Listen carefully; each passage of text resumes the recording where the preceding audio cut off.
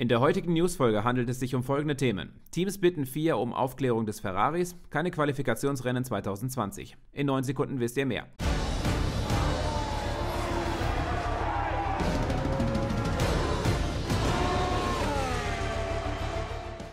Hallo Formel 1-Fans und willkommen zu einem weiteren Video. Mehrere Teams haben die FIA schriftlich darum gebeten, einerseits Ferraris Technik zu überprüfen, ob da alles mit legalen Dingen zugeht, andererseits möchten sie informiert werden, ob sie selber solche Entwicklungseinrichtungen einschlagen können. Wie ihr ja wisst, ist der Ferrari seit dieser Saison auf den Geraden einfach unschlagbar. Bis zu 0,8 Sekunden ist der Zeitvorteil. Aber woran genau könnte das liegen? Es könnte ein modifiziertes Kühlungssystem sein, wodurch Öl austritt und in den Verbrennungsprozess geleitet wird, wodurch der Motor mehr Power hat. Nur das ist illegal. Öl darf zwar im Kühler sein, aber die Hitzeenergie darf bei der Flüssigkeitenverdampfung nicht genutzt werden, denn so steht es im Reglement. Bei der Verbrennung darf ausschließlich Benzin verwendet werden. Andere vermuten, dass die Power möglicherweise vom ERS kommen könnte.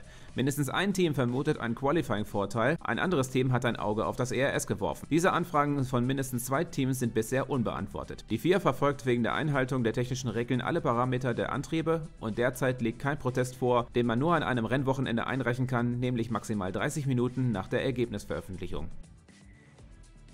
Die Qualifikationsrennen werden 2020 nicht stattfinden, was aber eigentlich schon so gut wie klar war. Das kam beim letzten Meeting der FIA und den Teams raus. 2021 könnte es aber dennoch eingeführt werden. Kommen wir zu Mikes Meinung. Ich finde es einfach nur unglaublich und zwar negativ. Nur weil Ferrari auf den Geraden so unfassbar schnell ist, muss das jetzt überprüft werden. Das mit den Quali-Rennen war ja klar. Sehr schade eigentlich. Das hätte ich gerne gesehen, auch wenn es nur drei Quali-Rennen wären.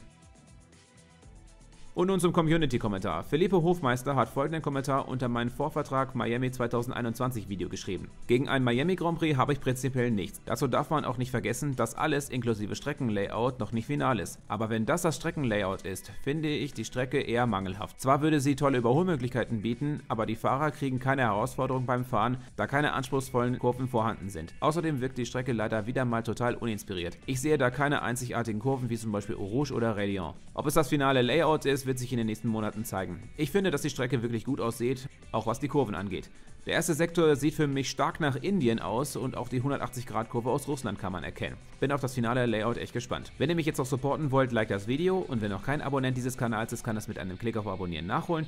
Wir sehen uns im nächsten Video oder heute Abend um 18 Uhr auf Twitch, wo ich am Livestream bin. Bis dahin, ciao.